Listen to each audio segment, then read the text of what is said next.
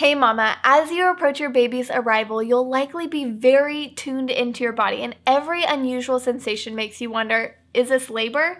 And this is a big question on most first time mamas' minds, and not having the answer can sometimes be frustrating. So, in this video, I'm going to share with you the one thing that will tell you whether or not labor is starting for certain. I'm Bridget, and I'm a birth doula and childbirth educator in the San Francisco Bay Area, and I love empowering mamas through informing them on how they are built to birth their babies. If you're new here and are looking to stay empowered, informed, and encouraged, make sure you subscribe to this channel and hit the little bell so you don't miss any of my future videos.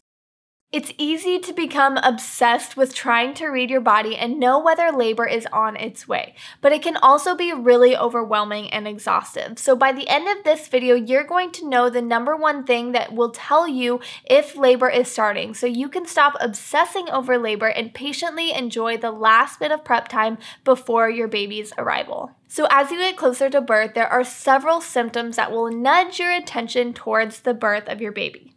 One symptom that labor is beginning is losing your mucus plug, which is a thick, gooey, milky white, or opaque discharge that is kept in the cervix to protect the uterus and your baby from bacteria from entering it. So, the mucus plug is often lost as women's bodies are preparing for labor, but can also be lost in bits and pieces during pregnancy and then actually regrow itself.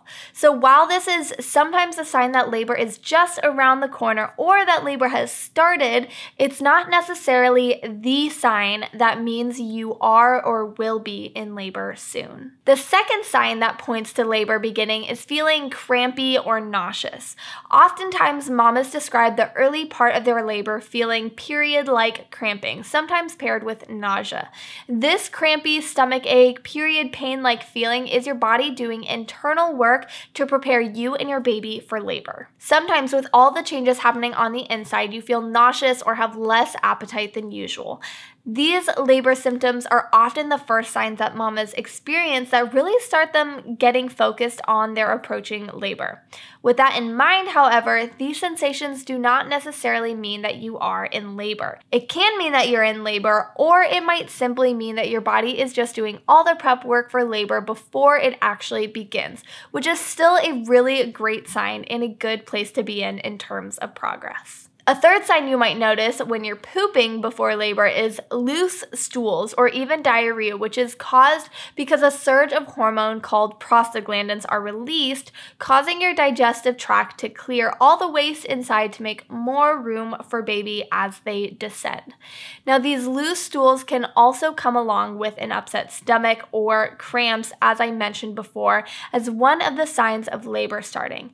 And again, this is simply a possible sign that labor starting, not necessarily something that should take you to the hospital or wherever you're giving birth, unless the diarrhea is excessive and you're starting to get dehydrated. If that's the case and you're having really bad diarrhea, it's less likely that it's a sign that labor is approaching quickly and probably more of a sign that you have a stomach bug or an upset stomach. But most of the time, frequent soft bowel movements at the end of your pregnancy can mean that your body is making progress towards towards the birth of your baby. The fourth sign is leaking amniotic fluid or even a full rupture of the membranes that results in a gush of amniotic fluid. Now, this is a likely sign that your labor will start very soon, but it doesn't necessarily mean that you are in labor now. If your water starts leaking or if it breaks before labor has set in, it's considered a premature rupture of membranes or PROM. And I've created a whole video on what you should look for if this happens and the decisions that you can make in the event of your water releasing before contractions begin.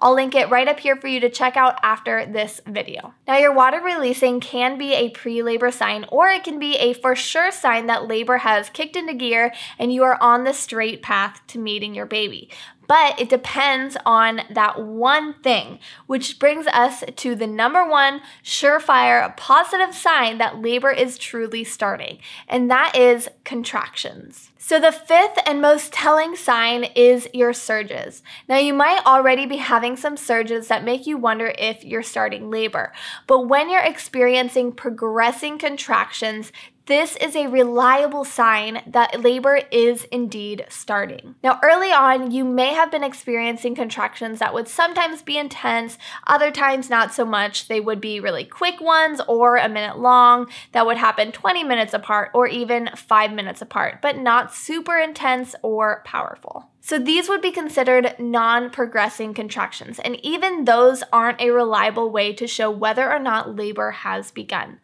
These kinds of contractions often happen during pre labor, which can last several days or just a few hours. To know if labor is truly starting, your surges will progress to become longer, more frequent, and stronger than they were when they began.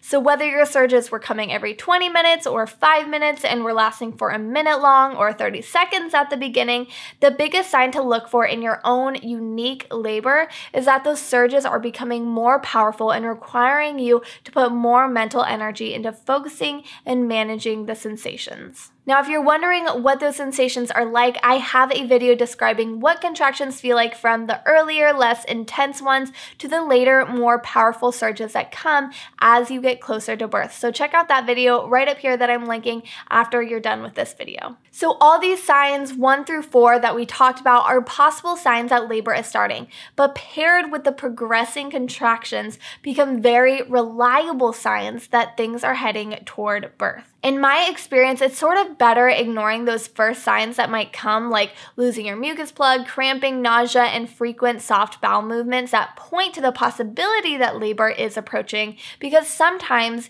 it just becomes overwhelming if those surges don't accompany those things as early as you expect them to. Plus, the longer you can distract yourself from labor, the shorter it seems. So during that early part of labor, it's often a good idea to carry on with your normal day as much as you can while also trying to get a little extra rest or even a nap if possible. Now, the only sign that you would definitely want to pay attention to is your water releasing, whether it's a leak or a gush.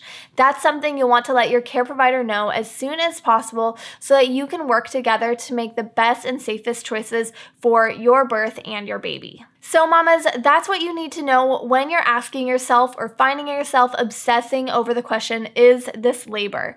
Waiting for the arrival of your baby is such an exciting and joyful time, and your patience as you navigate through these late third trimester pregnancy symptoms is the best thing that you can give your baby as they are making those last but very important developments that they need to fully thrive outside the womb. I hope this video has answered one of the many questions that pregnancy, birth, and postpartum brings, but if you have more, please comment them down below or send me a direct message on Instagram at Built to Birth so that I can make more videos answering your specific questions. Thanks for being with me in this video, Mama, and I will see you in the next one.